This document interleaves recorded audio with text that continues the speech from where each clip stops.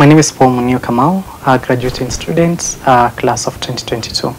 What I would like to tell my first year self is that uh, you made the right decision to join Zetech University and thank you for trusting your guts.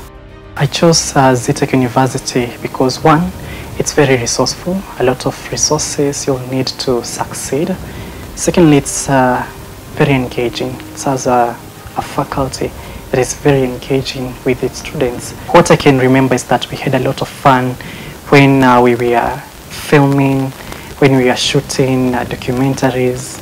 Uh, at some point we did uh, adverts. I would describe Azitech University culture as a very conducive environment and Azitech University is like a family bound together, you know, focused to achieve certain goals and uh, that really helped me to be able or rather to be where I am today. Naam, bila shaka mtazamaji, ni wakati tofauti, dakika tofauti na ghalabu hata sekunde, lakini kisichobadilika ni mbiu ya mgambo wa TV47.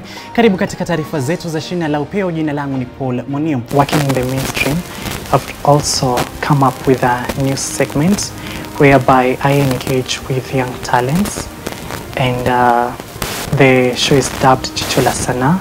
So basically, I've uh, come out, you know, to support young talents who are engaging in innovative ideas, uh, the artists, and uh, so far, I guess I've uh, given back to the community, and I'll continue doing that because I have featured at least two students from Zetech University who are engaging in, uh, you know, artistic work.